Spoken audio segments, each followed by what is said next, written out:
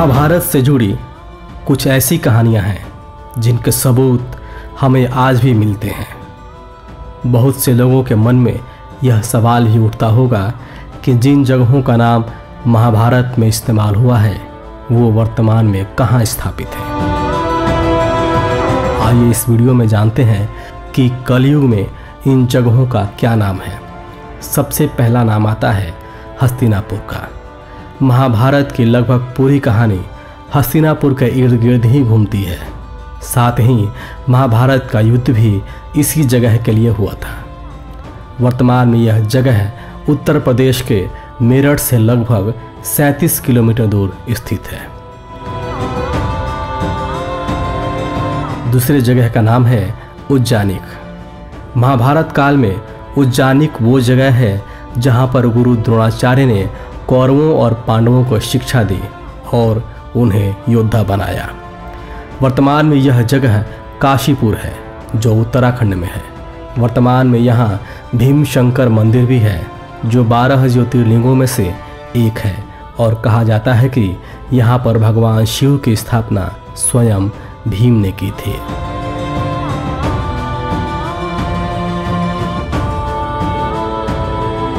तीसरा स्थान है वारणाव्रत।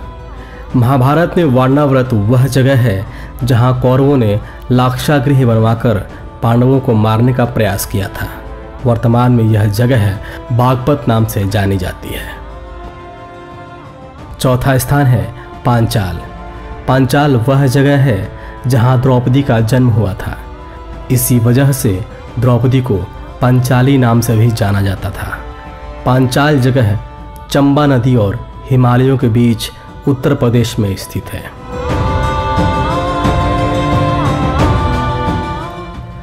पांचवा स्थान है इंद्रप्रस्थ। इंद्रप्रस्थ वो जगह थी जिसका निर्माण पांडवों ने करवाया था। उस वक्त वो पांडवों की राजधानी थी और आज पूरे देश की, जी हाँ उस वक्त का इंद्रप्रस्थ आज का दिल्ली है। छठा नाम आता है तक्षशिला का।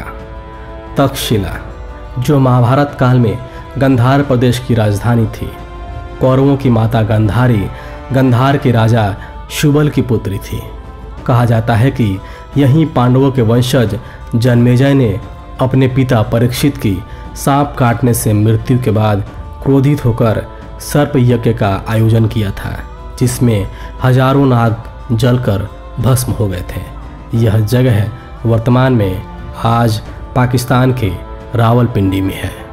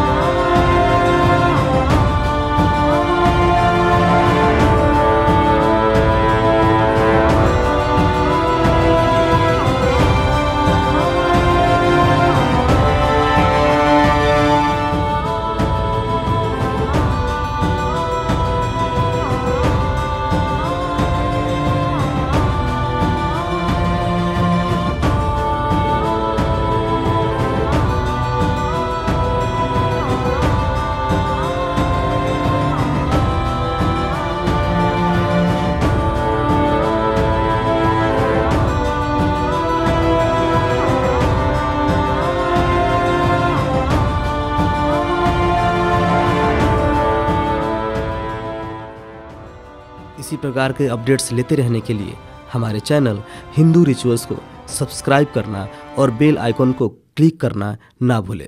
धन्यवाद।